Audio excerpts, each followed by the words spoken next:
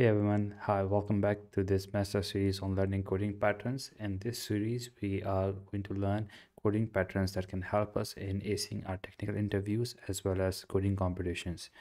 In the previous video, we learned about sliding window approach and we solved one question.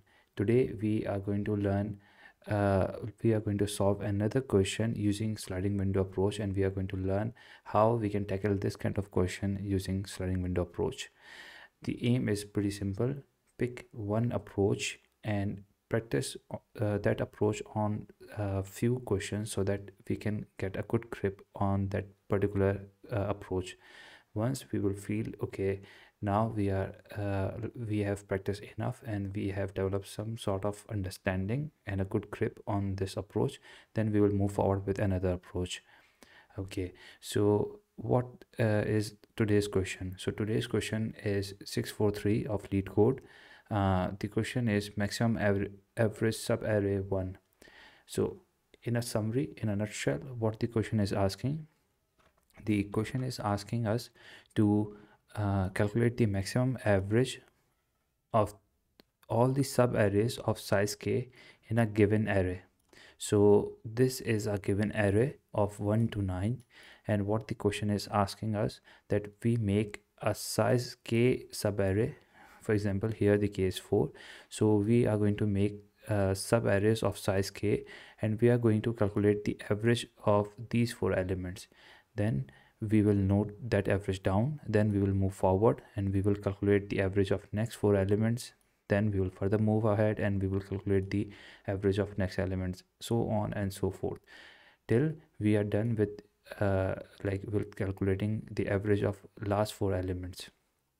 Okay so uh, let's discuss the naive approach first and then we will use the sliding window approach. So what the naive approach will be here that we will stand here and we will look at these next three items. So in total they will become four and we will calculate the sum of these four numbers and divide that sum with uh, four y4 because the average formula is sum of x divided by n okay?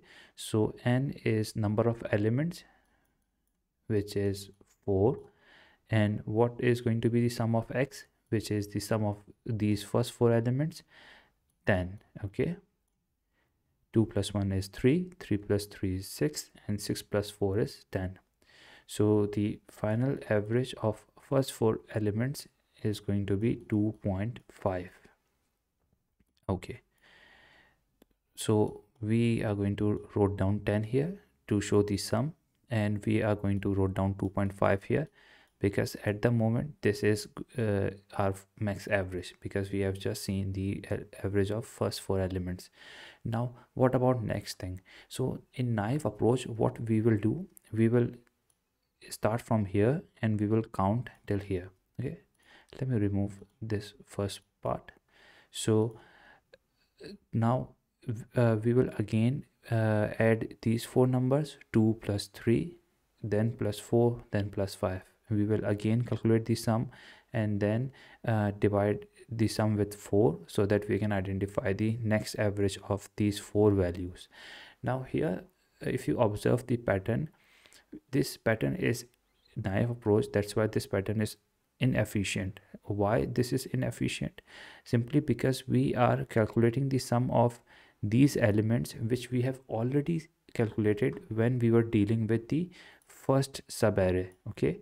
So why just because of this additional one element why we are calculating the sum of these three elements again so this is the inefficiency of the naive approach.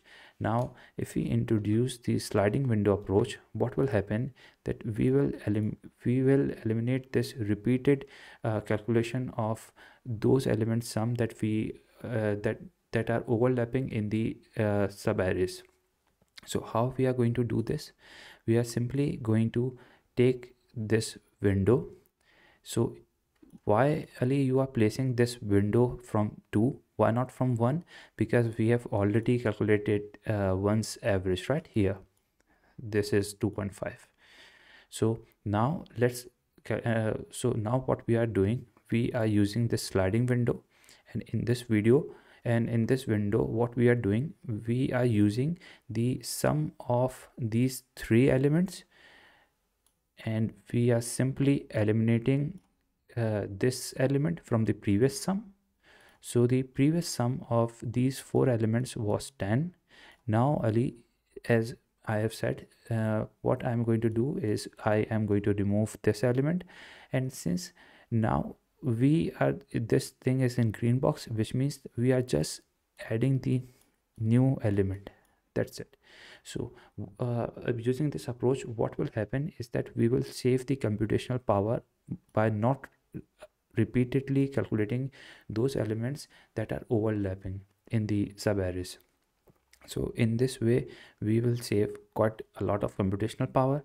So here rather than traversing over these four elements what we are doing we are just uh, doing this in o of 1 uh, complexity. So here just uh, calculate it. 10 minus 1 is 9 9 plus 5 is 14 okay? So the new sum is going to be 14 of these uh, of these four elements.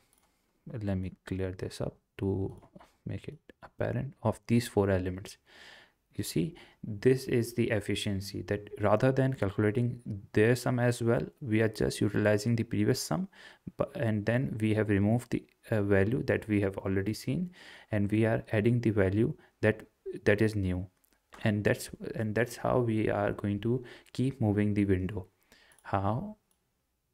Okay so uh, i okay so if we go for 14 divided by 4 so this is going to be around 3.5 so what uh, so now in the next step we are going to match okay 3.5 is bigger than 2.5 and we have to identify the maximum average. So we will simply come here and we will remove this and we will write 3.5 here. But after doing this what we are going to do we are simply going to slide our window to the next element. We are going now we are going to cancel out this initial value from the previous sum which was 14 and and now we are going to add this new value which is 6 and this will give us the new sum. We will then divide it again by 4 which will give us the new average. We will then again compare the new average with the previous average and then which average will be which whichever average will be larger we will substitute that average here. In order and uh, just by following this particular order what we are going to do what we are going to get we are going to get the maximum average. Okay ali. So i hope like um, in, this way uh, sliding window approach and sliding windows implementation over this question is clear. Now let's look at the uh, solution. So how to solve this question? So here we are here we are on uh, question number 643 on LeetCode and now let's code the solution how to solve it using the sliding window approach so as we discussed earlier that we need to calculate the first window sum the 10 so how we are going to calculate it? We are going to use the function called sum in python and then what we are doing we are going to do we are going to use this nums array and we are going to slice it till the kth uh, uh, like the k minus one element. So if uh, if i am using k here as 4 so what will happen is that uh, if you type if you understand the indexing part there will be 0 1 2 3 so k minus one element okay? So uh, we are slicing till this element so we will get the four elements window since our k is 4 okay and then what we are going to do we are going to calculate the average of this window. And how to calculate the average? As discussed earlier we are simply going to divide this window sum this window sum with k. Okay summation of x divided by n. This is the average formula. So summation of the summation of these first four elements divided by 4 so we will get the initial values average like initial four elements average uh, this way. Then we are going to use another variable called max average. What this max average will uh, will have it will uh, it, it will have the maximum average of two subarrays. At the moment we have just calculated the uh, uh, we we have just calculated the first initial subarrays average. So that's why we are going to write down window average. Okay.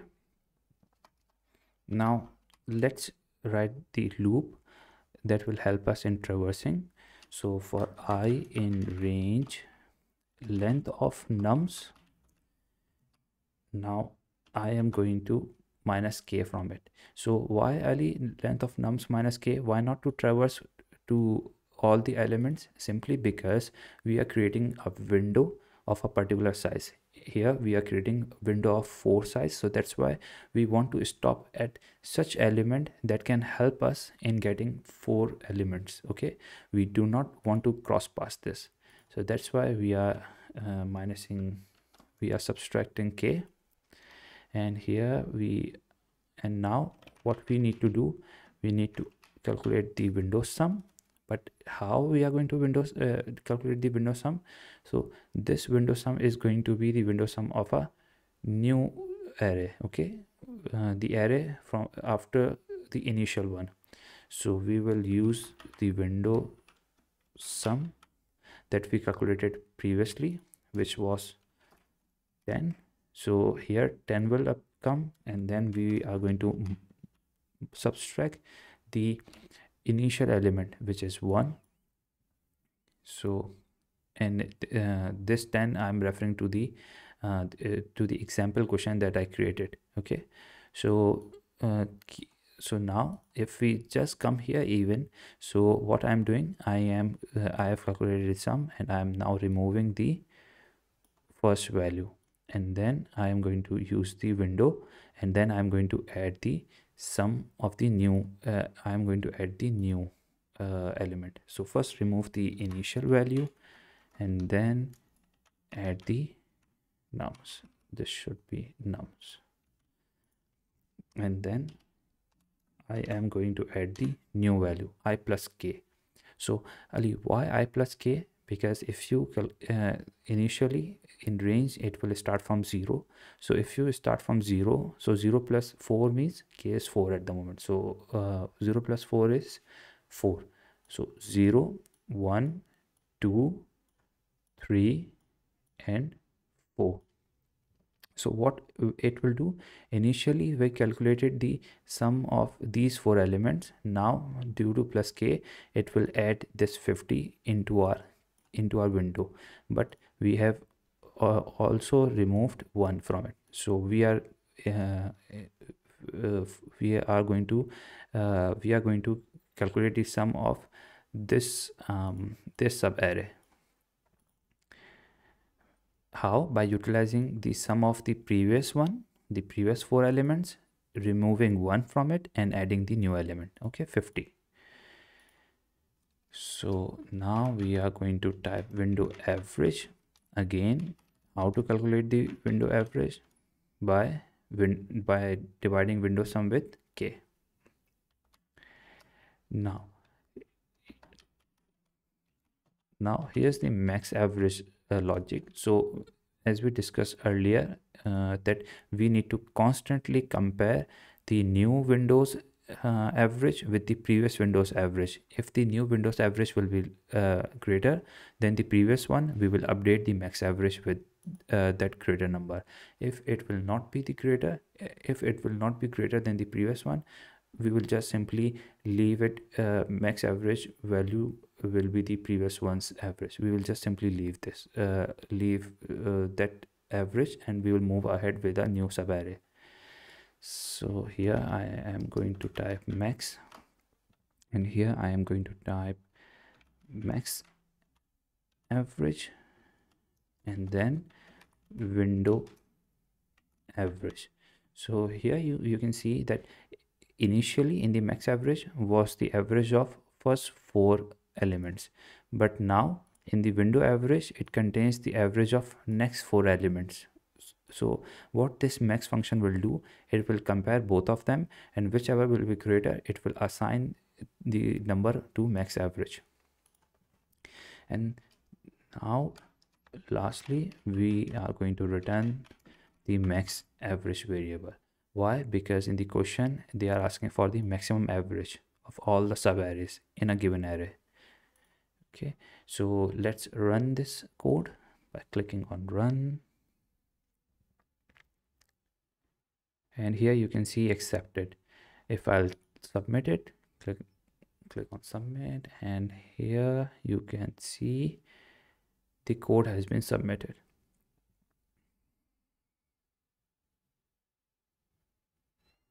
Okay. Awesome. So that was that was uh, that was our second video on sliding window approach. I hope now the sliding window and its implementation will be much more clear than before. Um, i have already shared this code plus this questions link in the github uh, folder of question number 643 like this is the repository leetcode dash python that i've created and in which i have in, in this repository i have created this folder 643 maximum average subarray so here you can find this readme that will that contains the link to the question the question short form understand like uh, the approach that i've used uh, the intuition with the code as well as the time complexities and the technique that i've used. This question belongs to array so that's why i have put it into the array folder. So the time complexity is o of n minus k. So n was the total number total length of nums but i am minusing k so that's why our code our for loop will only traverse to the n minus k elements. And then um, here um, space complexity is o of 1 because i am not using um, any uh, like uh, i am just using variables so that's why it is o of 1 i'm not creating any data structure that will increase with the increase in the input size so uh, so that was our second video. I hope you liked it. If you uh, if you like uh, this approach and if you want to support please do uh, click on like button and subscribe. And please share it uh, if you if you think that this video can help with uh, it, that can help other people who are learning data structures in your in your domain in your friend circle thank you so much for your time. I'll see you tomorrow with a new video and a new question. See ya. Take care